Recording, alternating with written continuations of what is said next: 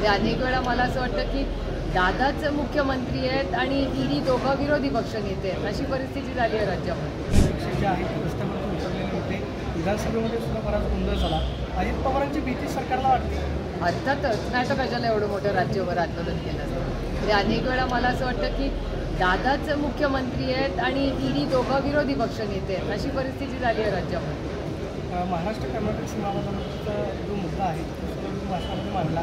अमित शहाकडे दोन मुख्यमंत्री आले मात्र बेळगावचे मुख्यमंत्री काय बोलायचं थांबत नाही आहे खरं तर आपले मुख्यमंत्री आणि उपमुख्यमंत्री यांच्यामध्ये ताकद नाही का असं? असं दिसतंय कारण डेटा मी कधी आरोप कुणावरही करत नाही. आणि राज्याच्या अस्मितेचा प्रश्न आहे. या मा आपल्या महाराष्ट्राच्या अस्मितेचा प्रश्न आहे. कोणी यावर महाराष्ट्राला टपली मारून जावं. आणि म्हणून मी कुठलंही त्याच्यात राजकारण न करता तो प्रश्न मी माननीय अमित भाई शहांकडे दिला. आणि मी जाहीरपणे आधी अमित भाई भाई शहांची आभार मानलेले आहेत कारण का त्यावेळेस खरंच त्यांनी सहकार्याची भूमिका महाविकास आघाडीला केली. महाविकास आघाडीचे तिन्ही पक्षांचे सगळे नेते वरिष्ठ नेते हे सगळे आणि मी आम्ही सगळे गेलो होतो अमितभाई शहांना भेटायला. त्यांनी शब्दही दिला की ते दोन्ही पक्ष कारण का दोन्ही मुख्यमंत्री जे भारतीय जनता पक्षाचे आहेत तर त्यांना बोलून मार्ग काढतील. जे त्यांनी केलं आणि त्यांचीच तुमच्याच चॅनलवर मी पाहिलं होतं की माननीय अमितभाई शाह असं म्हणाले की कोणीही आता काही बोलणार नाही. पण कोर्टात काय होतं ते बघू. तरी अशी पार्श्वभूमी असताना अमित भाईंनी त्यांना सांगितलं असताना कर्नाटकाच्या मुख्यमंत्र्यांनी तरी पुन्हा आरोप केले.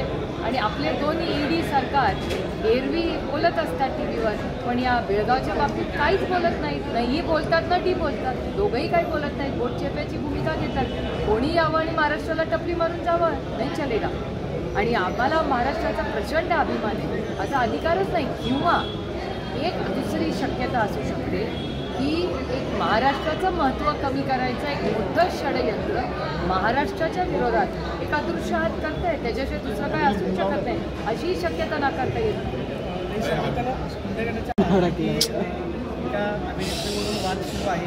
भाजपचे जे नेते आहेत ते पत्रकार परिषद घेत आहेत टीका करतात की ते असं म्हणतात महाराष्ट्रामध्ये तिचा नंगाना सुरू आहे हे कुठेतरी थांबलं पाहिजे. गेले अनेक दिवस अनेक व्यासपीठावरून वरणं सगळ्याच पक्षाला आणि त्याची सुरुवात नेहमी जेव्हा आपण एखादी गोष्ट कोणाला विनंती करतो त्याची सुरुवात आपण स्वतःपासून केली पाहिजे.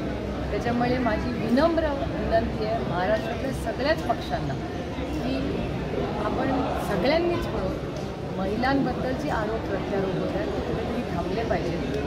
कुणा कुणा कुठल्याही पक्षाबद्दल म्हणजे हे मी फक्त कुठल्या पक्षाला कुठल्या व्यक्तीला अजिबात लेखून बोलत नाही. माझं म्हणणं आहे अनेक दिवस मी पाहते. ही काही एक गोष्ट नाही अनेक महिने मी पाहते. मुलींबद्दल झालेले आरोप प्रत्यारोप अनेक पक्षांच्या नेत्यांवर होत आहेत. आणि दुर्दैव आहे की महाराष्ट्र हा पुरोगामी विचाराचा महाराष्ट्र आहे. महिलांना माते समान ज्यांनी सन्मान दिला आणि देशाला दिशा दाखवली अशा सावित्रीबाईंचा हा जिजाऊचा हा महाराष्ट्र आहे. त्याच्या ज्या पद्धतीने आज महिलांबद्दल चर्चा अनेक व्यासपीठांवर होते. अतिशय दुर्दैवी आहे. मला हे राजकारण हे अतिशय गलिच्छ वाटतं. त्याच्यामुळे माझी सगळ्यांना विनम्र विनंती आहे आणि सगळ्याच पक्षाला आणि त्याची सुरुवात राष्ट्रवादी काँग्रेस पक्षापासूनच केली पाहिजे म्हणून मी ते माझ्यापासून म्हणते. माझी सगळ्यांना विनंती आहे की ह्या सगळ्याच्या महिला आहेत मुली आहेत युवती आहेत कुणाची तरी आई आहे कुणाची तरी बहीण आहे कुणाची तरी बायको असेल कुणाची तरी मैत्रीण असेल त्याच्यामुळे आपण सगळ्यांनी महाराष्ट्राची संस्कृती नाही आणि मी गेले अनेक आठवडे जी संधी महाराष्ट्रात मिळेल त्या व्यासपीठावरनं सगळ्याच पक्षाच्या नेत्यांना विनम्रपणे विनंती करते की हे महाराष्ट्राचं संस्कृती नाही आणि हे आपलं राजकारण नाही ते कुठेतरी थांबलं पाहिजे. मला असंच म्हणतं आहे की माझ्या मनात चंद्रकांत दादांबद्दल प्रचंड प्रेमाने आदर त्यांची अनेक भाषणं त्यांचं कोल्हापूरमधले दौरे अध्यक्ष असतानाचे दौरे फार जवळून पाहिले. त्यांच्याबद्दल माझ्या मनात फक्त आदरच आहे.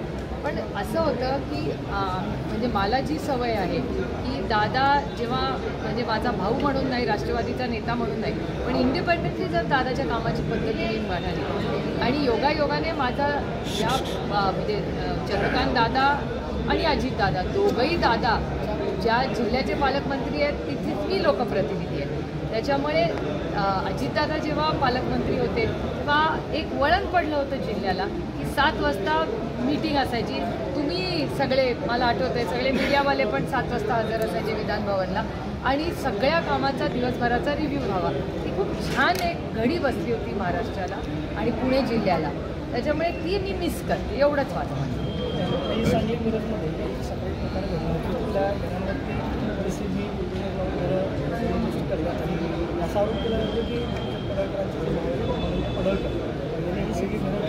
नागरिकांचा आरोप आहे की चालवली मला असं वाटतं विषय खूप गंभीर आहे. जरूर तुम्हाला मी थोडीशी माहिती काढते. जरूर तुम्हाला त्याच्यावर ताई आज बा दादा बारामतीच्या दौऱ्यावर आहेत. त्यांना पण गुवाहाटीचा दौरा केलेला होता कामाख्या देवीचं दर्शन घेतलेलं होतं. पुन्हा ते अयोध्या दौऱ्यामध्ये जात आहेत ते म्हणतात की आम्ही रामाचं दर्शन घेऊ त्यांचा वैयक्तिक प्रश्न.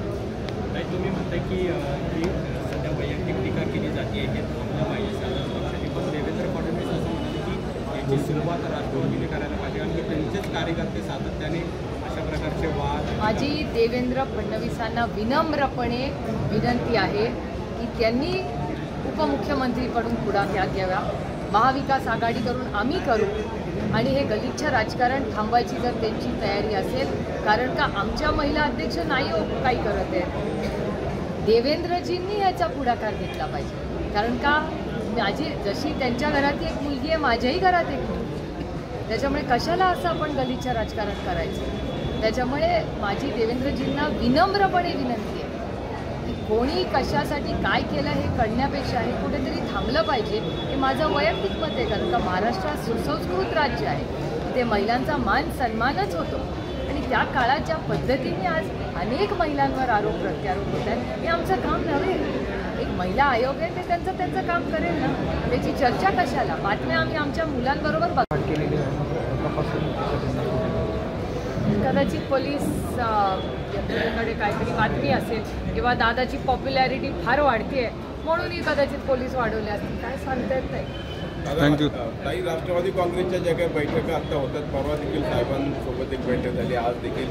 कार्यकर्ते त्यांच्या मनातली खतखत काही प्रमाणात बोलून दाखवत आहेत. गेल्या वेळेचा विधानसभेचा पराभव अजूनही त्यामध्ये तो जिवारी लागलेला त्यातून ते सावरलेले दिसत नाही आहेत पुढच्या काळामध्ये हे अंतर्गत खतखत थांबवणे हे पहिलं आव्हान असणार आहे का?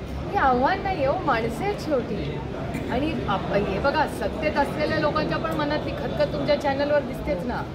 त्याच्यामुळे जी संघटना जिवंत असते जिवंत माणसाच्याच अंगात खतखत असते आणि अर्थातच अपयश असेल तर एखादी व्यक्ती नापास झाली तर डबल अभ्यास करून पुढच्या वेळेस पास व्हायला प्रयत्न करायचा नाही का? अर्थातच. पण गंमत अशी वाटते ही तर आमची बाजू झाली. पण जे सत्तेमध्ये आहेत त्यांची खतखत तुमच्या सगळ्या चॅनल्सवर दिसते. थँक्यू ताई.